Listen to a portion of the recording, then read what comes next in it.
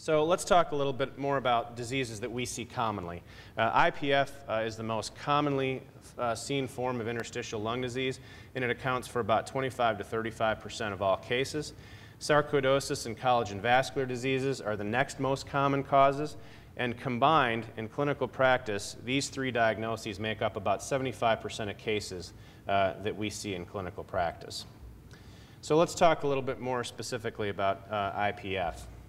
So I'm going to take you through sort of an algorithm uh, or an approach uh, for how to arrive at the diagnosis of IPF. And uh, it's going to involve uh, not only talking to the patient, getting history, uh, physical exam, laboratory, uh, radiographic, and also pulmonary function testing. So patients generally present with a varying severity and duration of respiratory symptoms.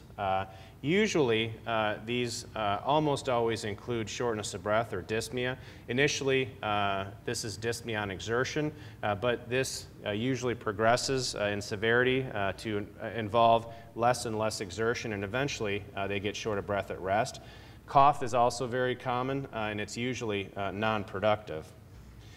Uncommon symptoms include chest pain, and these can be seen in sarcoidosis and collagen vascular diseases as well as drug-induced interstitial lung diseases or related to a spontaneous pneumothorax as seen in pulmonary Langerhans cell histiocytosis or LAM. Wheezing uh, can be seen in hypersensitivity pneumonitis or chronic eosinophilic pneumonia.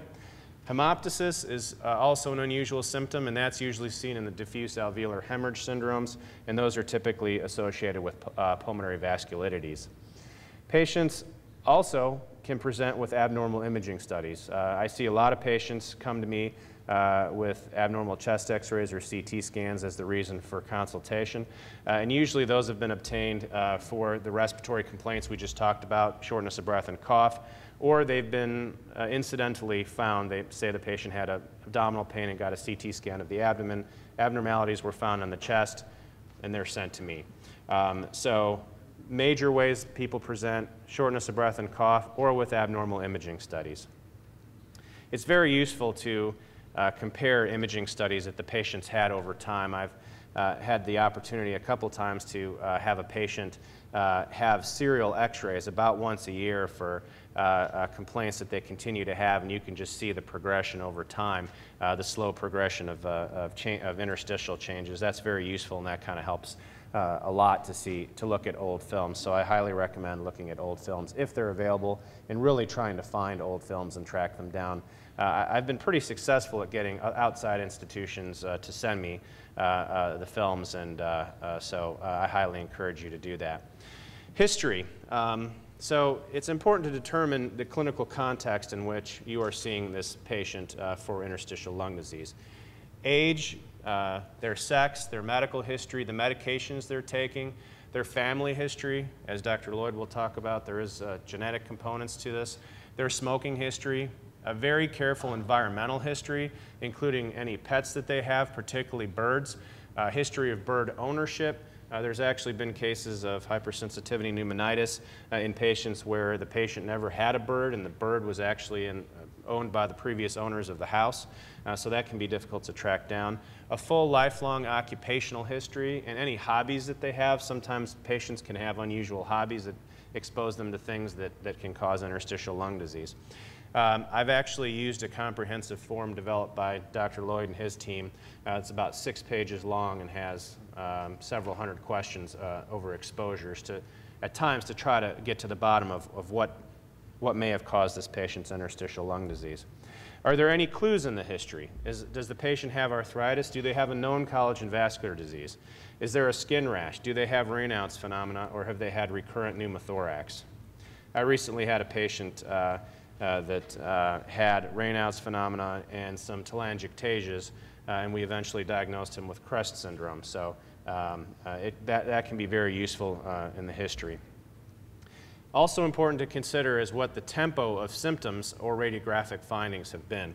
Most interstitial lung diseases, uh, with some exceptions that I'll show you in a minute, present with gradual onset, slowly progressive respiratory symptoms, usually over months to years.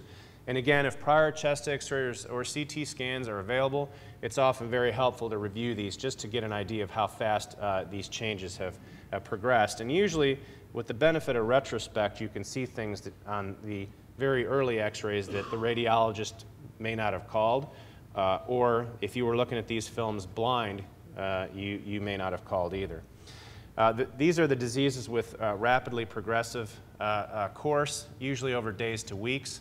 Um, these are uncommon, but they do exist, and they include hypersensitivity pneumonitis, drug or inhalational exposures, the diffuse alveolar hemorrhage syndromes, uh, cryptogenic organizing pneumonia, acute eosinophilic pneumonia, and uh, acute interstitial pneumonitis or Hamman-Rich syndrome. So if you see a rapidly progressive course, these are some of the things you may want to consider.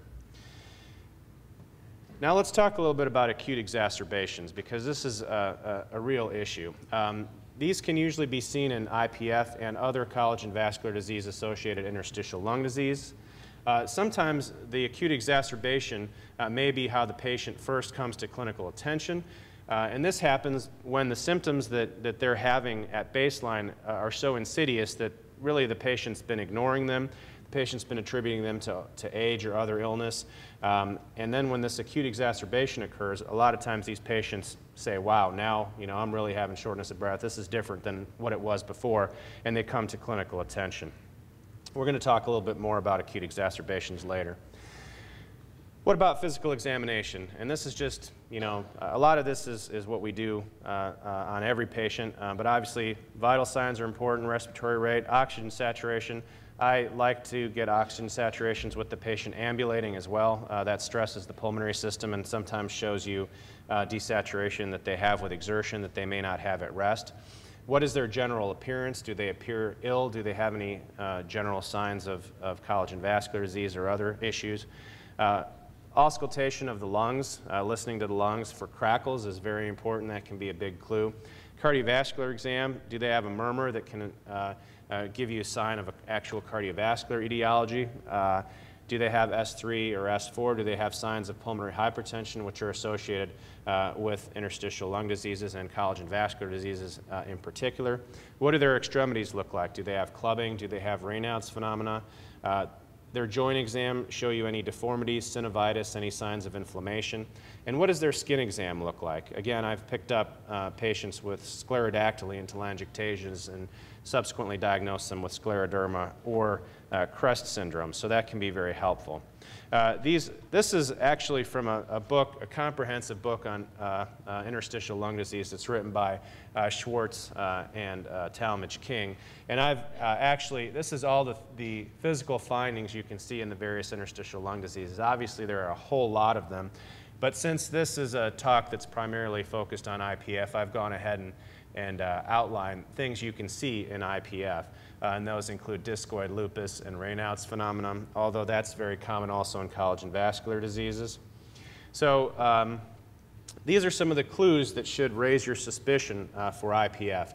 An unexplained dry cough uh, and progressive dyspnea on exertion that's uh, been occurring for at least three months, bibasilar Velcro type dry crackles, digital clubbing, although that happens between 25 and 50 percent of patients, uh, and desaturation, as I mentioned earlier, during oximetry testing.